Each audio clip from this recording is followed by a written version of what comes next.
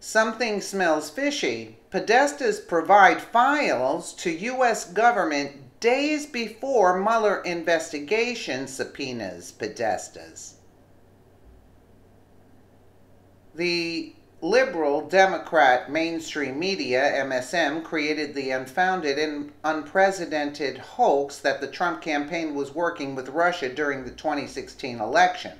Although no information to date has substantiated this claim, the MSM is reporting nonstop about this since the election loss of their candidate Hillary Clinton.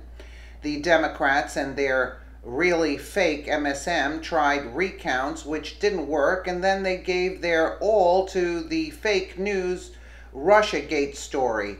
At the same time, the MSM never mentioned the connections that the Clinton team, including John Podesta, her campaign manager, and the Clinton Foundation had with the Russians.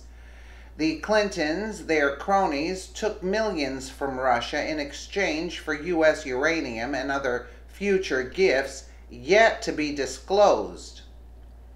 We know the Clintons and anyone connected to them is corrupt. We learned this from the years of Clinton corruption and from John Podesta's emails released shortly before the election by WikiLeaks.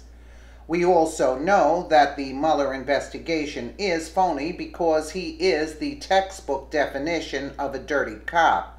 This is due to the fact that Mueller has connections to the key witnesses in the investigation Examples James Comey, who leaked information to the press hoping to ignite the special counsel, and yet Mueller has not recused himself. He also has a history of not bringing any prosecutions to the high level cases that involve the former President Obama administration and the Clintons. Also, all the people hired by Mueller are former Clinton and Obama cronies.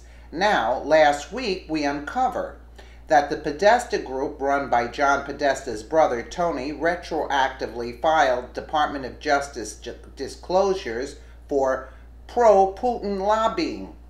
The Washington Examiner reported the Podesta Group belatedly filed several new disclosures with the Justice Department on August 17th related to work the firm completed between 2012 and 2014 on behalf of a pro Russia Ukraine think tank.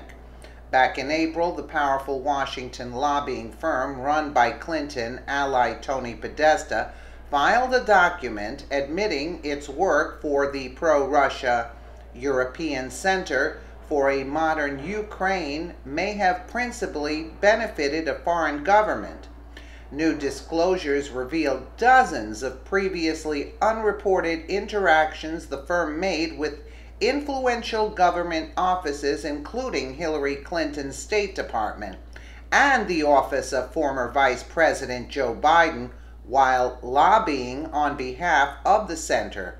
Embattled ex Trump campaign manager Paul Manafort failed to disclose his extensive lobbying efforts on behalf of the center at the time as well.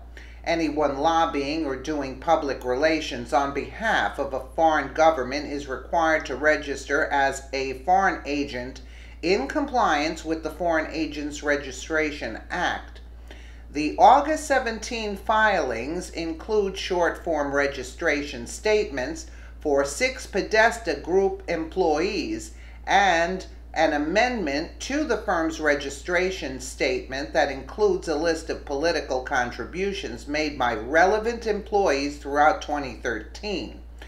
A review of those don donations show both parties received cash from Podesta Group lobbyists we know these people are corrupt to the core. So why did they just file these uh, things before the Mueller uh, subpoenas? You know, so Mueller is dirty as can uh, as they come, and that's why they filed it before to to show like they're clean, but they're not, and everybody knows this. Let me know what you guys think in the comments below, and again, thank you so much for watching.